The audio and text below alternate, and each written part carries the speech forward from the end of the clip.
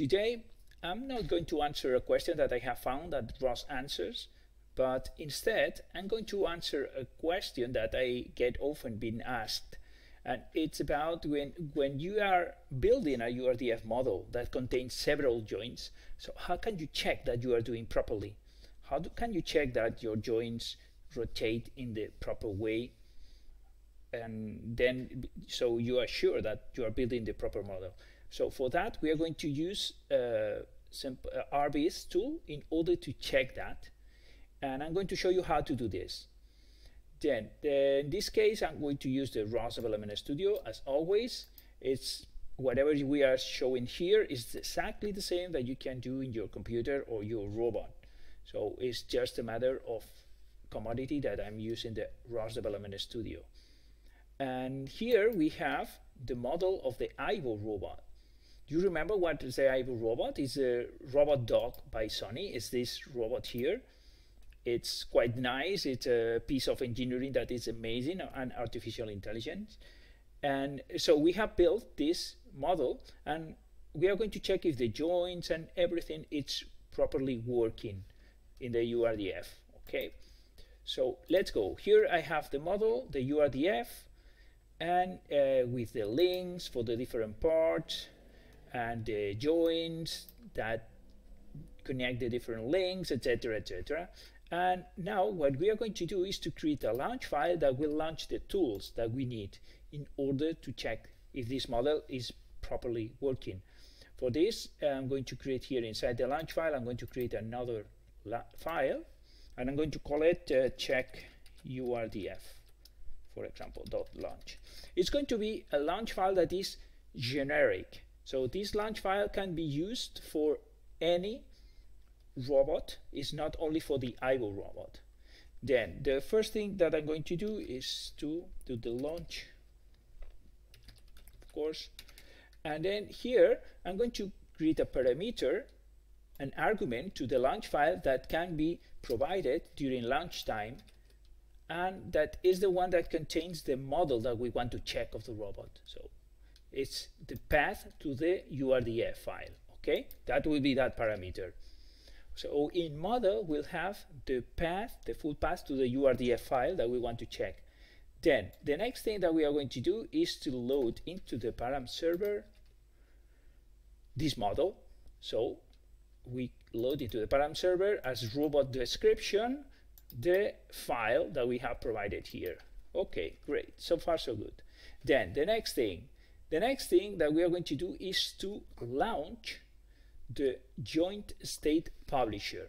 What is the joint state publisher? It's, it's a node provided by ROS that what it does is to read a URDF file and then publish a message in a topic containing the joint state values for that robot. So uh, you can check this documentation here in the joint state publisher of ROS, but basically is that it publishes a joint state topic containing the current position of all the joints of your robot based on the URDF that you are providing. Okay, let's go. Then let me launch put here the code for launching the joint state publisher and it's been launched like this. You can check on the documentation how to do it. Now, the only th strange thing that you can see here is that we have provided here a parameter use GUI to true. So this node provides a tool, it's a graphical tool here that allow us to modify the joint state, the joint value at a certain point in time it's a graphical tool that is very useful because based on the range of that joint, you can modify and see if your robot is rotating in the proper way. That's quite interesting. So in order to activate that, we have to set this parameter of the joint state value to true. Great. So now we have a topic that is pu publishing the joint states, but still we need somebody to publish the transforms between the different joints. So somebody has to publish the TF between the different links of the robot based on the values of the joint state. And that is called the robot state publisher. That's another node that is provided by ROS and that uh, does exactly that. It connects to this joint states topic that is provided by the joint state publisher and then reads the URDF and then computes at any point in time, it computes the transforms between all the different joins and publishes it into the TF. So I'm going to include this here, how to launch the robot state publisher. It's very simple, just like this.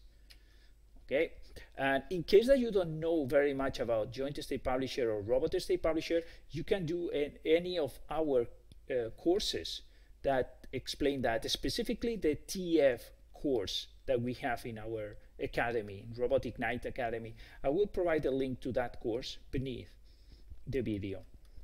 Great, you, we have everything now and uh, it only remains to launch the RViz. So we can see the results in a graphical uh, tool. Great, so that's it. I have it. So I'm going to uh, save it, save it, and then now I'm going to launch it. And for that, ROS launch.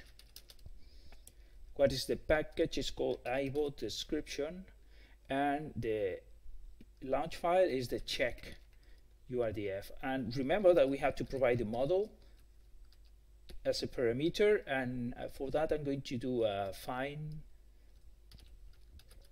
of the Aibo description.